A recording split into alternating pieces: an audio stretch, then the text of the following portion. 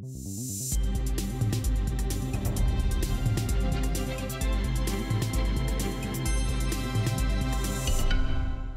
Bonsoir, ce samedi fut la journée la plus froide de la semaine avec des températures glaciales. Ce matin, notamment dans le nord-est, moins 19,4 degrés, relevé à Bulle-Lorraine en Moselle avec les sols enneigés. Même chose à Strasbourg, moins 12,9 degrés au petit matin. Et cet après-midi on n'a pas dépassé les moins 6 degrés. Sur la capitale alsacienne. À partir de demain ça va changer. Avec une perturbation pluvieuse qui va gagner la Bretagne, peut-être quelques phénomènes verglaçants. Sur l'est de la région de manière très temporaire. À l'avant, un ciel qui va s'ennuager, soleil encore présent entre les Pyrénées et les régions de l'Est. Et l'après-midi, cette perturbation gagne toutes les régions du quart nord-ouest avec des pluies qui s'annoncent soutenues, notamment sur la Bretagne où les cumuls seront importants jusqu'à lundi matin.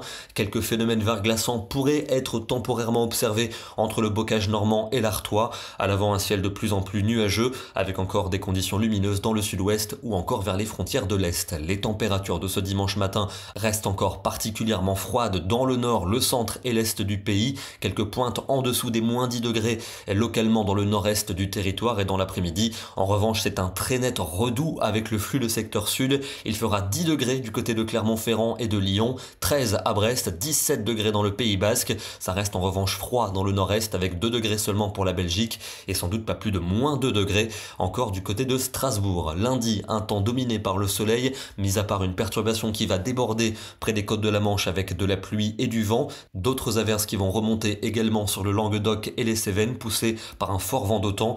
Des températures de plus en plus douces cette fois-ci. L'air doux s'installe quasiment partout. Il devrait faire entre 10 et 15 degrés en moyenne, jusque 18 prévus dans le Pays Basque. La journée de mardi avec une perturbation pluvieuse qui va s'enfoncer de l'océan jusqu'à la Belgique en cours de journée. Quelques pluies vont aussi remonter par le golfe du Lion avec des températures particulièrement douces pour cette journée. On sera largement au-dessus des valeurs de saison dès le matin. Il fera souvent l'après-midi entre 12 et 16 degrés.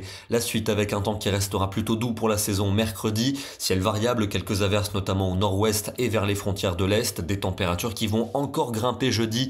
Moyenne de 13 au nord et de 15 dans le sud avec une perturbation pluvio-venteuse prévue dans le nord et l'ouest du pays. Encore une pour vendredi avec toujours une douceur de plus en plus marquée. 14 en moyenne au nord, 16 au sud. Dans le sud où les éclaircies seront présentes, l'ambiance sera quasiment printanière. Et puis ce sera encore le cas samedi avec une moyenne de 15 dans le sud, moyenne de 11 au nord avec des averses et un temps et qui va rester instable. On termine ce soir dans le département de l'Orne avec un paysage bien hivernal en ce début de journée de samedi. Les étangs qui actuellement sont gelés. Les températures la nuit dernière sont descendues entre moins 6 et moins 8 degrés dans ce secteur. Demain, nous serons le dimanche 18 décembre et nous fêterons la Saint Gatien. Bonne soirée à tous, très bon dimanche et à demain.